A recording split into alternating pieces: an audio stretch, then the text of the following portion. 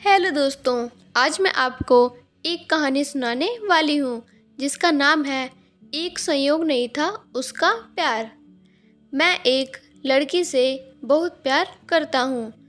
वह उसी कॉलेज की स्टूडेंट थी, जहाँ मेरे पापा पढ़ाते थे।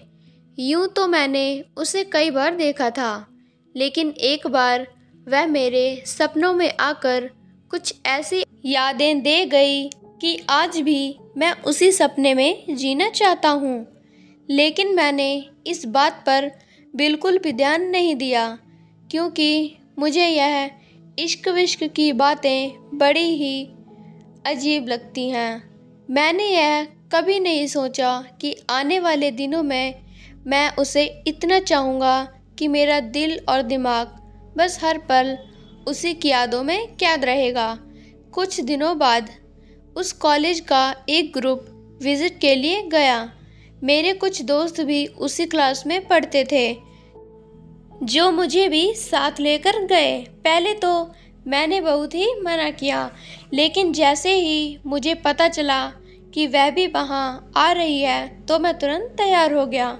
उन आने वाले दिनों ने मेरी सारी ज़िंदगी बदल कर रख दी। हम दोनों पूरे टूर में साथ साथ रहे। और बहुत मौज मस्ती भी की, जिसे वह आज भी भूल नहीं पाई है। उसके बाद मैंने उससे कई बार फ़ोन पर बात करने की कोशिश भी की। कुछ ही दिनों बाद वैलेंटाइन डे आया। मैं इस मौके को गंवाना नहीं चाहता था, क्योंकि मैंने अपने कई दोस्तों को तड़पते देखा है।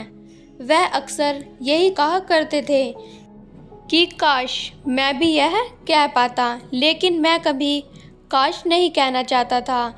इसलिए मैंने उससे अपने प्यार का इजहार कर दिया। लेकिन शायद तब तक बहुत देर हो चुकी थी। मुझे पता चला कि वह किसी और को चाहती है, और वह लड़का भी उससे बहुत प्यार करता था। मैंने उसके लिए कॉलेज में एक गाना भी गाया, जिसे मैं आज तक भूल नहीं पाया हूँ।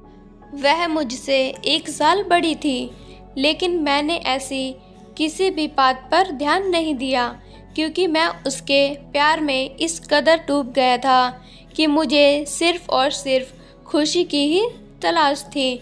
2006 को मैं भी नहीं भूल सकता, क्योंकि यह साल मेरी ज़िंदगी का सबसे खूबसूरत साल बन गया था।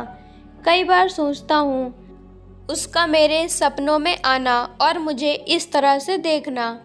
उसका मुझे कुछ ना कहकर बहुत कुछ कह जाना। यह सब कुछ एक संयोग नहीं हो सकता। थैंक्स फॉर वॉचिंग अगर आपको वीडियो अच्छी लगी तो लाइक एंड कमेंट करें। And do not forget to subscribe